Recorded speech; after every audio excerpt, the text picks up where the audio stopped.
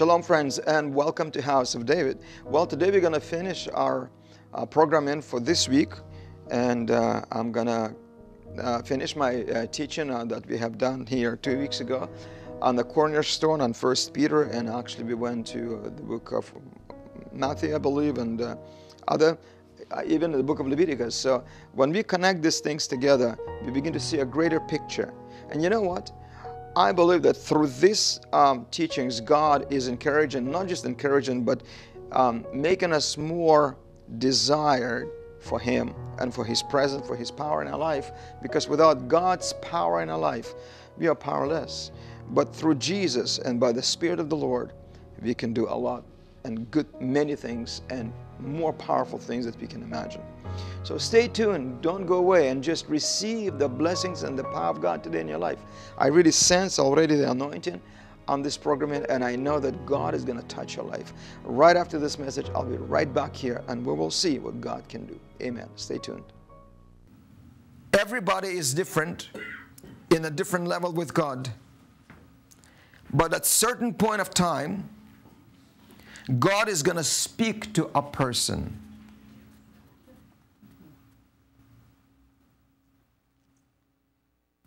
God is going to speak to a person in the spiritual level by saying this thing It's time to grow up. Amen? Amen. It's time to rise up. It's time to become better. And the way he's going to do this is going to he's going to reveal that to each and every one of the believers offering them this kind of a deal.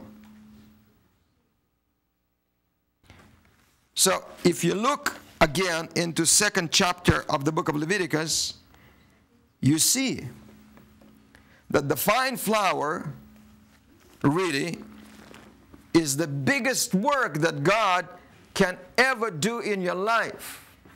Because chapter 1 is the sacrifice of Jesus. It was easy on your behalf. You didn't have to do it, you just have to accept it.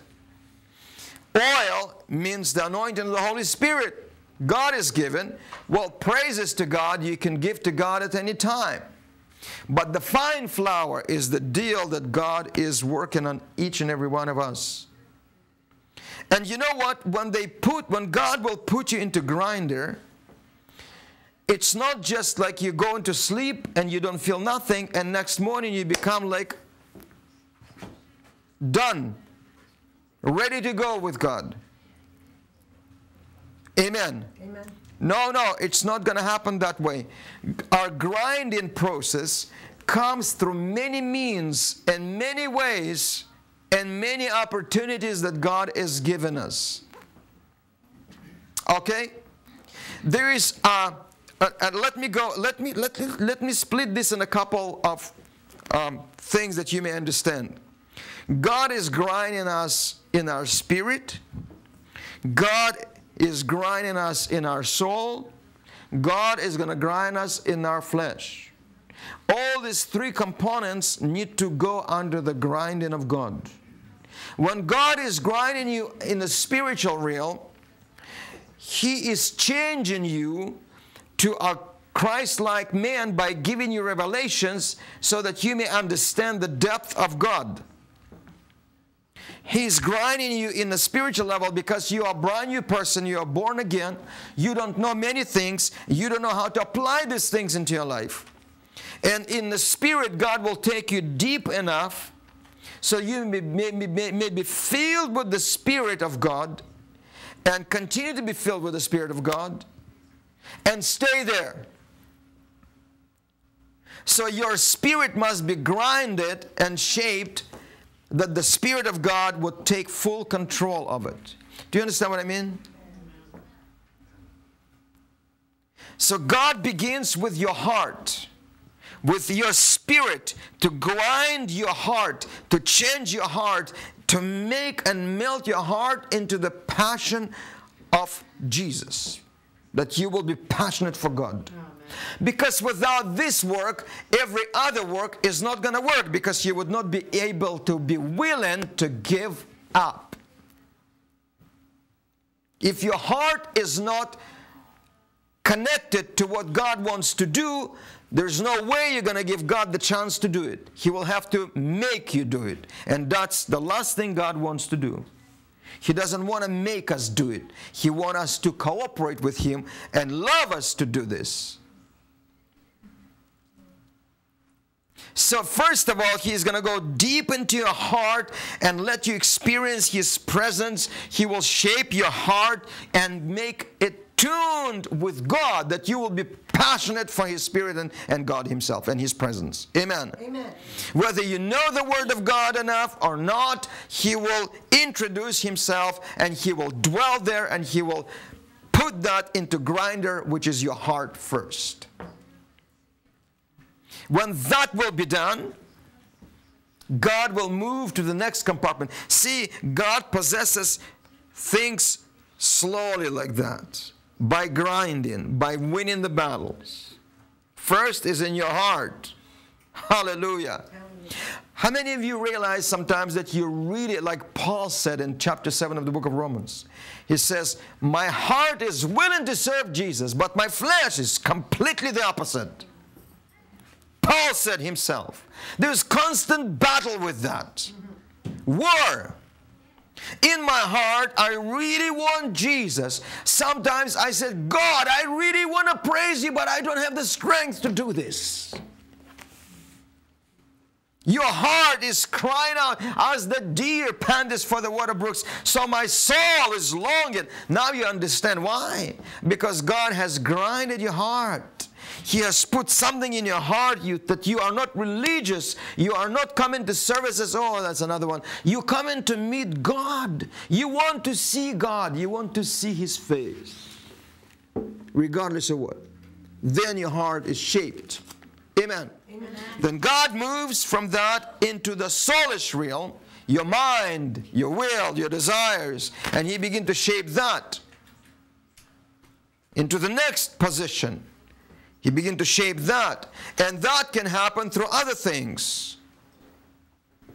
God said, Well, do you really want me to do what I said? Yes. Why don't you put yourself into the Word of God? We have to make ourselves study, reading, changing our mindset. It's work. And it's painful sometimes, but at the same token, God is shaping your soul, your mind, your will. Amen. Amen. Because when you are under the grinding, it's a lot of pain there. So you're going to go through a lot of painful things. And you know what the pain is? It's not a physical pain. It's just when your flesh screaming, No, I don't want this. And you're battling, but your mind and the heart says, But I need to do this. That's the hardest battle that man can find within himself. To do the right thing. Is that right? To do the right thing. And this is where God is grinding you now. See, when your heart is crying, let me tell you this. When your heart is crying for God, but you say, ah, I don't know, I just don't have the time, I don't feel that. Sometimes we blame the devil to this. But it's not. Sometimes our own mind that is not grinded yet is resisting the will of the Spirit. But you have to go under the grinding. God is pruning.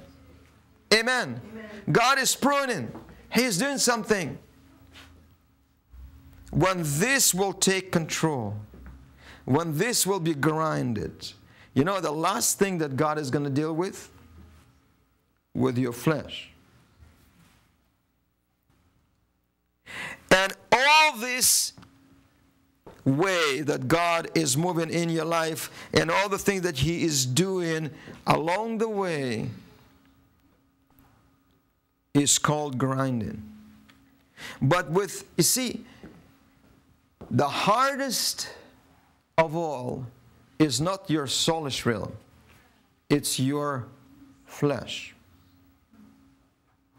When God is going to conquer that, you're going to receive anointing on your life.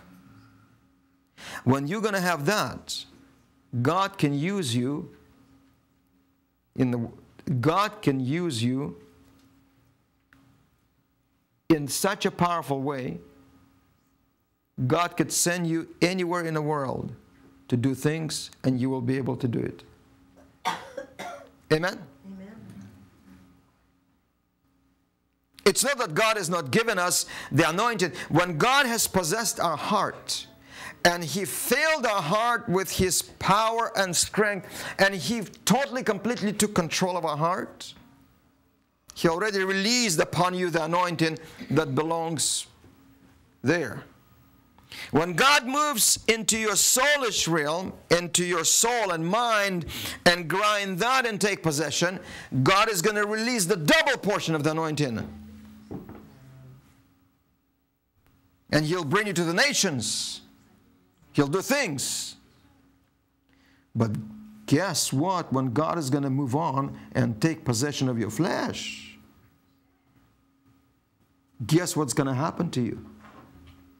I guess not everybody is interested in that kind of pattern because it takes a lot of price to pay, brother. It takes such a dedication that not everybody is making there. One person asked me sometimes, I don't understand how Kathryn Kuhlman made it. I said, I don't even know how she made it, but she made it. But she was willing to lay her life on the grinding stone from the beginning to the end. She was not turning back. Her focus was on one thing I got to get it. I got to get it. A lot of people criticize those who have the, the, the, the, double portion of the anointing because God is moving and they become more radical for Jesus. When God possesses your, not heart only, but when He possesses your soul, you become to be, you becoming to be uh, more radical. Your thoughts becoming just completely Christ's. Your, your motives and, and people, even believers, they're living halfway in the world, halfway within church, to them it's strange. To them, it's strange.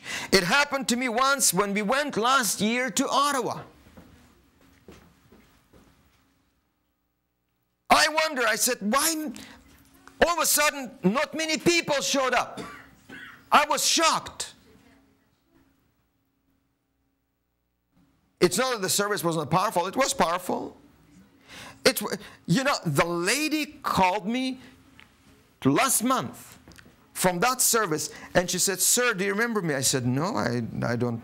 She, remember, I told woman, told woman this. I, I said, I, I, I can recollect. She said, You prayed for me there because I had two illnesses and they both got healed on the same spot. Now I'm completely free. I'm set free.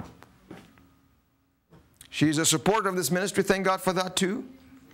But she said, you know, the interesting fact was, I was asking my friends, announcing to them your meeting in Ottawa, and they said, Oh, we've been there. We know. I'm not going to come back. She, she says, Why? I don't want to fall on the floor.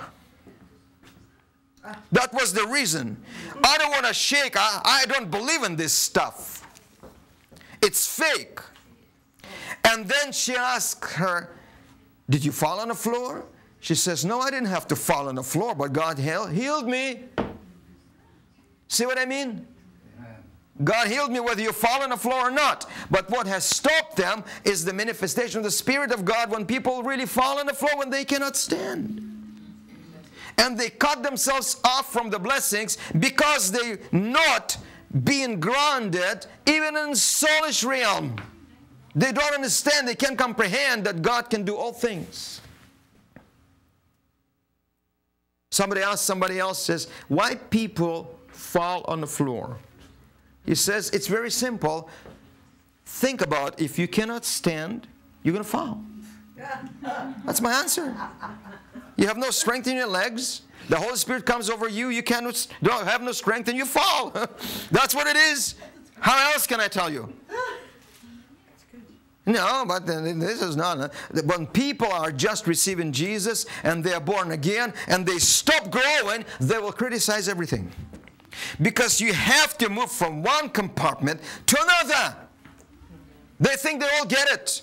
to go to and finish all the schools and get all the knowledge and everything else and sit and research and research and study and research and study and study and find nothing there and still criticize the move of the Spirit, it's not because you've been, you can research the scriptures all your life.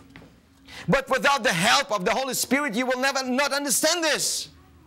You need God to open your compartment here and to come in and to grind you into powder. Are you with me? Amen. Without grounding, without trusting God, without understanding why God is doing and what God is doing, you will never experience this.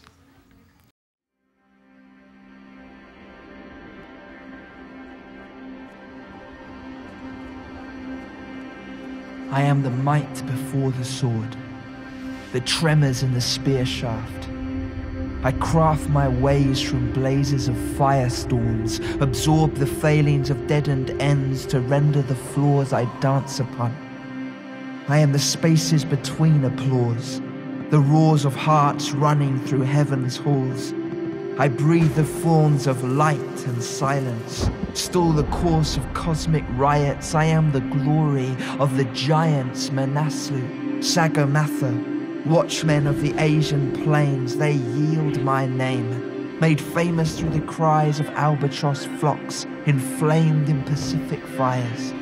I am dressed in the spray of Nevada dunes, clothed in the shadows of Sahara caves. I am the light of lunar flames, fleshing the rains of Amazonia. I paint the trains of Antarctic quests, release dominion to desert Panthera. I authorize the remains of Aztec and Inca that bloom through the visions of mountain tribes. I ride the skylines, breathe the signs, ignite the paths of astronomy's eyes. I am the unheard, heard in the storms that burn on my words. I am the yearned for. I am the word. Emerge deciduous from the wetlands of your cries. Rise through the moments you wake. I bring the dawns that shake the fevers from your remembrance. I am here. I am imminent. I am he who crosses the plains through which you strayed. Discover the parts extinction seared. I dust away the dried remains of tears. Drain the lakes of your regrets. I wet the wells, till the soil, passate the toil, quell the rages, sow the broken pages with my belief in you.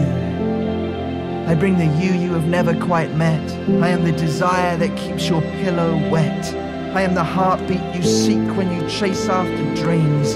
In the reachings and sighs, you are looking for me.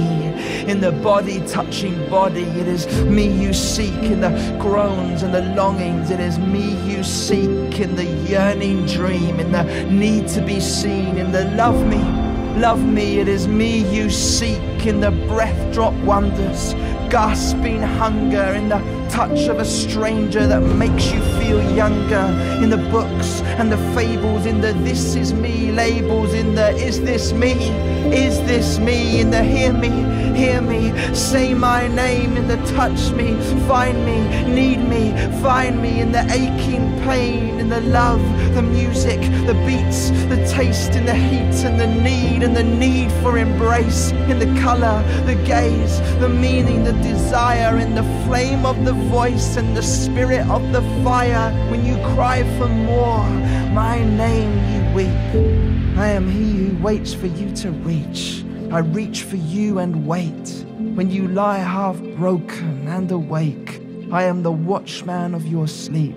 I wait and wait till the shakings cease. I am the truth they call release. When the darkness flares and starts to speak, I sculpt the shades of daybreak. It is me you seek. Well, friends, I'm so glad you've been watching this telecast for uh, this week and so on, and I believe that God has touched your life. I just want to brief, uh, briefly mention one thing that uh, from the 20th, Monday through Friday, through our website, we're going to be having a fundraise event for this ministry. We're going to be raising funds ahead ahead of us for the year ahead. So we're going to believe God for a breakthrough financial, and we do need your support. We, we need support from um, different different people and from different um, you know ways because it's important for us to have that support. In order for us to stay on the air, in order for us to continue our ministry, we need to do fundraise. We, I'm encouraging people to become our partners, but it's not that uh, we're doing some kind of business here. No, it's only for the sake of the ministry's flow. Without the finances, we cannot do anything. We cannot even produce any programs. We cannot broadcast anything, and I cannot go anywhere. It has to be finances. So just put it on your calendar. If you can log in through our website, it will be live on our website Monday night, Tuesday night, Wednesday night, Thursday night, and Friday night, beginning on the 20th of April. For two hours, we're going to have a praise-a-thon, or I would say fundraise, and uh, we're going to have speakers and music and special things and all these things. So we'd like you to join us if you can and be a part of this event. I count on you. Our ministry is counting on you on financial support because without financial support, we don't want to close those doors. We don't. And neither God. And God said that uh, we should support God's work. So I really encourage you to log in and be with us every night at 8 p.m. Eastern Time. Eastern Time, 8 p.m. It means it's going to be uh, 5 p.m. beginning um, in Vancouver and about 9.30 in the evening it's going to be the, um, uh, over there at St. John's, Newfoundland. I just trust the Lord that you will do that. And thank you so much for supporting.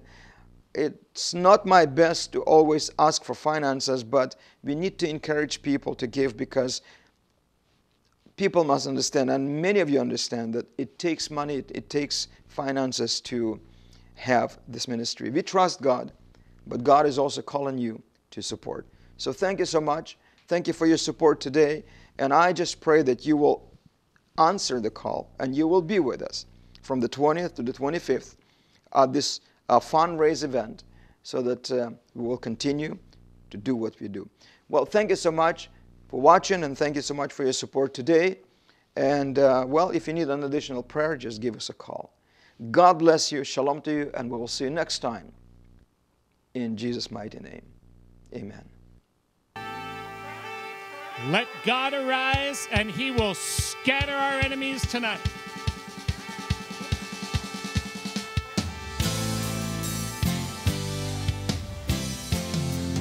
Give us a little more juicy and let God arise.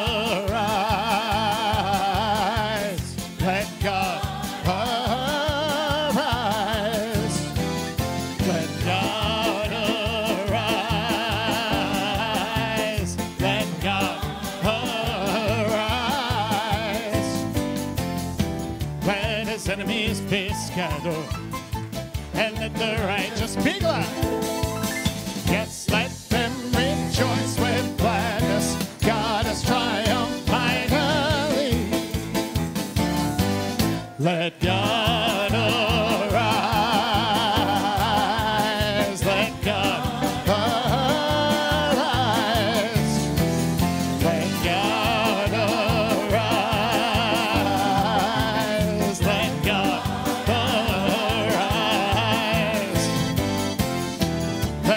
Enemies scattered, and let the righteous be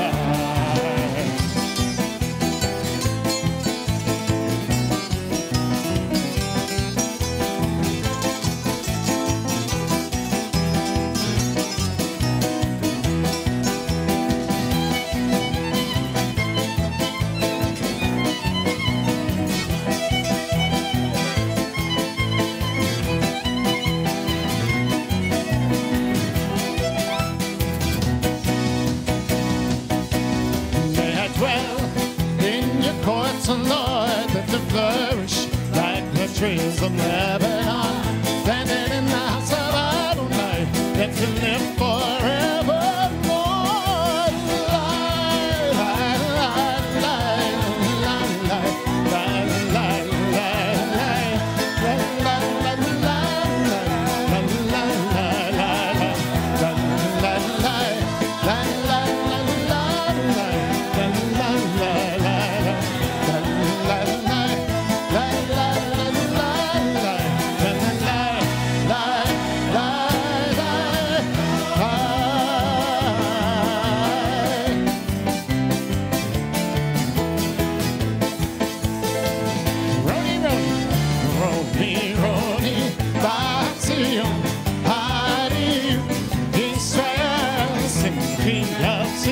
the corner.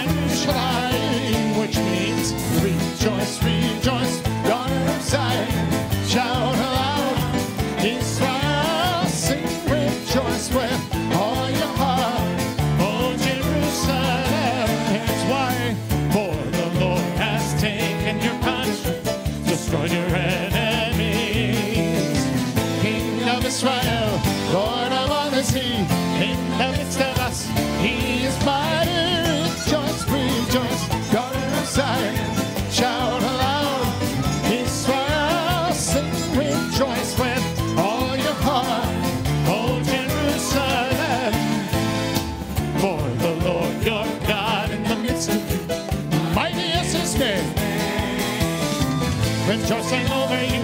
The song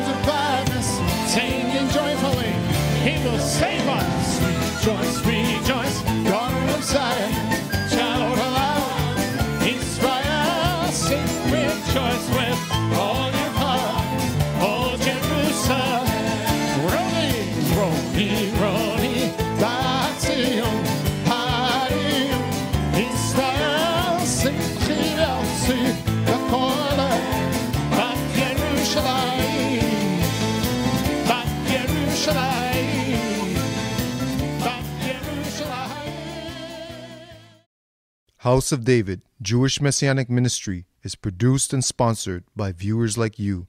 We appreciate your support, which is allowing us to continue to broadcast our programming.